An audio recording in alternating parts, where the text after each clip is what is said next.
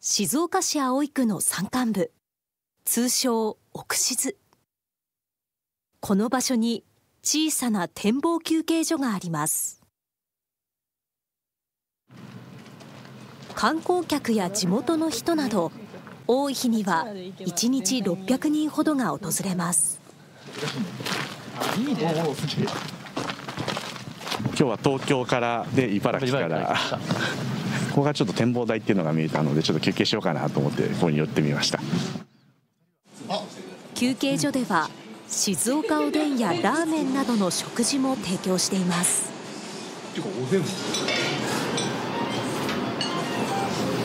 本格的だすごい。麺がもちもちでめっちゃ美味しいです。お客さんとの会話を楽しんでいるのは漁師の岡本直也さん35歳です。5年前静岡市葵区の市街地からこの地に移住してきた岡本さん。不便を楽しむがモットーです。その都度例えば電気が止まってしまったらろうそくを焚いて その雰囲気を楽しむだとかで水が止まってしまったらあの水水輪を直しに行ったりするんですけど。そんな感じで僕は楽しみながら生活してますね。はい、岡本さんは移住後新型コロナなどの影響で休業が続いていたこの休憩所の運営を地元の人たちの後押しもあって引き継ぎました。今年で3年目を迎えます。並んでいるのは岡本さんが制作したこだわりのアクセサリーの数々です。鹿の角で作った、えネックレスになりますね。ニスを塗ったりとかっていうことはあまり好きではないので紙やすりで研磨でこれだけの艶を出してます。生地の羽をあしらったピアスもありすべて岡本さんの手作りです。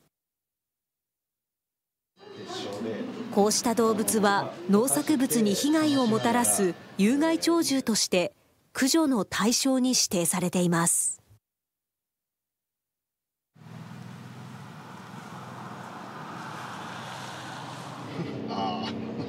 休憩所を営業する傍ら岡本さんは漁師として活動しています。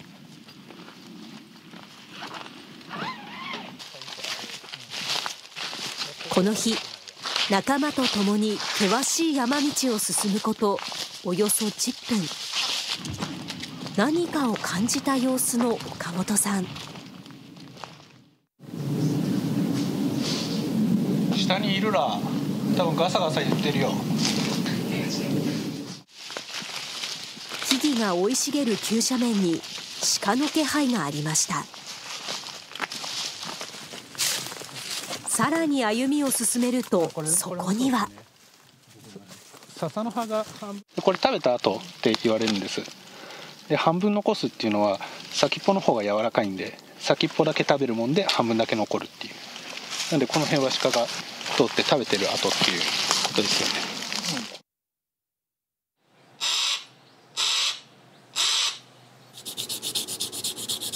有害鳥獣はそのまま埋められてしまうことが多いものの岡本さんは有効に活用したいと考えています。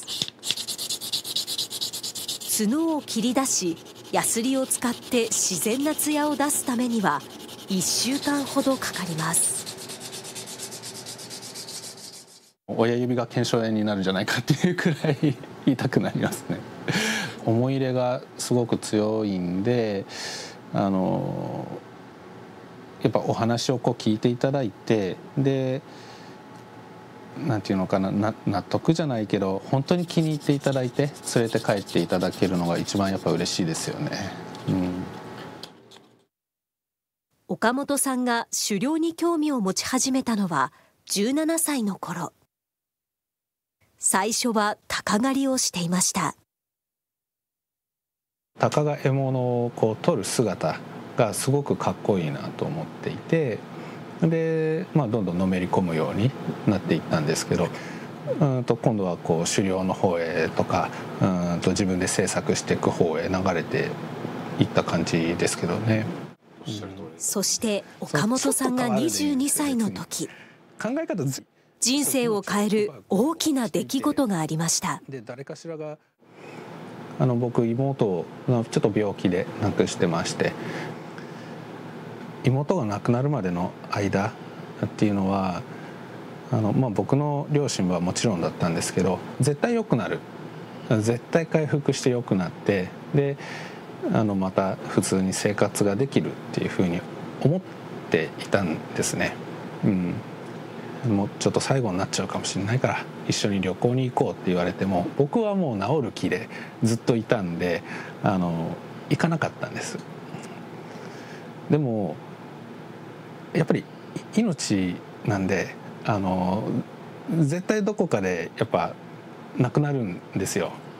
妹が亡くなった時にあのすごくやっぱり後悔しました、うん、なんでこうもっとたくさん話をしてなんでもっとたくさんこう思い出を作れなかったんだろうってすごく後悔しました。命への考え方が変わった瞬間でした。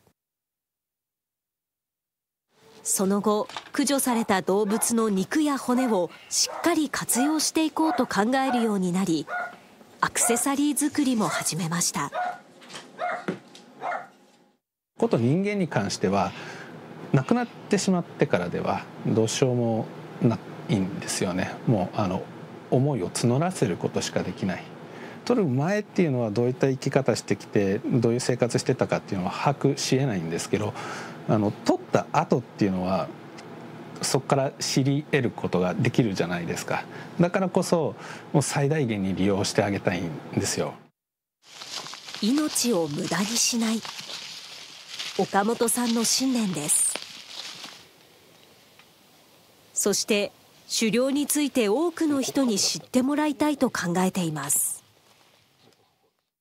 今のその狩猟の環境がどういったものでどういった現実があるのかっていうところを知ってもらえただけで僕満足なんですよ。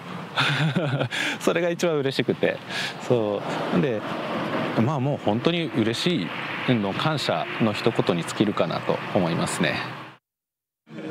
今後は野生動物の解体処理施設を作りジビエ料理も提供していきたいと考えている岡本さん。命を大切にする取り組みはまだ始まったばかりです。